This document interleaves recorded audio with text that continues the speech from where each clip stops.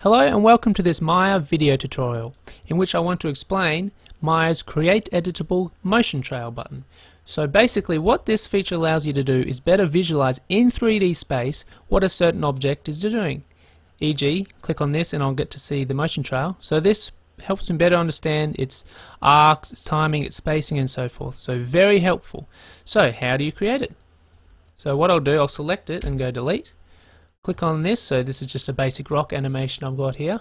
You go animate create editable motion trail or you click this box to get the, the options open. So time range start and end time slider. So start and end you basically get to specify what frame to start on what frame to end on. So if this was the case it would start at 1 and go up until 10 or time slider that just basically means the whole time slider that you got here will be uh, created. So you can of course change this bump it up etc um, depends really what you want. So I'll go back to yeah, keep it on time slider increments. So basically, this will uh, visualize every single frame. If it's on one, you can change it to five, so it would only show every five frames. Depends how specific you want it to get.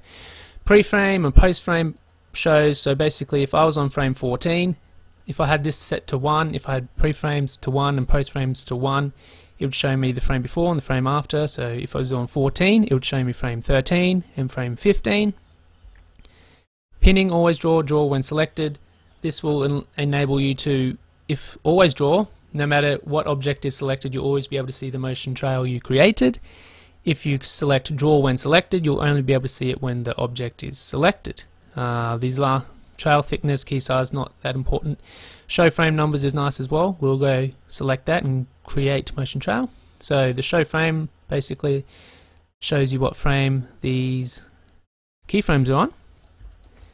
And as you can see, it helps us better visualize what's going on. Another thing you can do is select the individual keys and move them about, which will then, in real time, update and change our animation.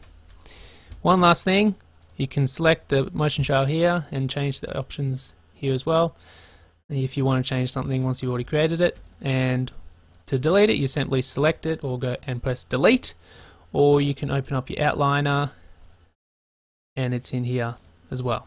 So I hope you got something out of that tutorial and go on and make some motion trails. Thank you